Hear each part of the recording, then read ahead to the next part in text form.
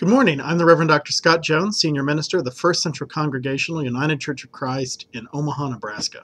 This coming Sunday is the 10th Sunday after Pentecost, and we have been this summer in a series in, in the Psalms, exploring the range of human emotions and experiences that the Psalms cover.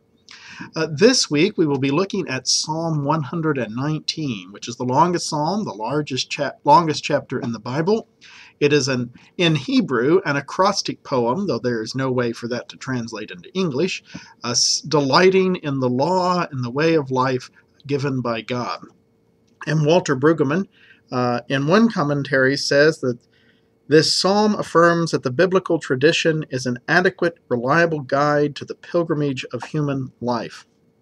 And in another commentary, writes the commandments liberate and give people space in which to be human.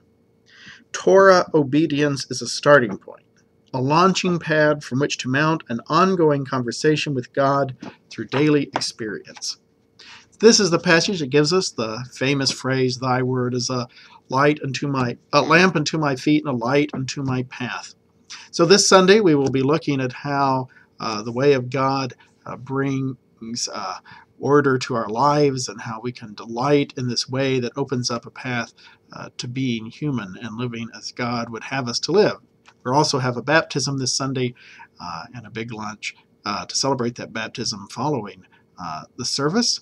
And so uh, I invite you to sh- think about these things, read Psalm 119, share your own thoughts and ideas here, and I look forward to seeing you on Sunday.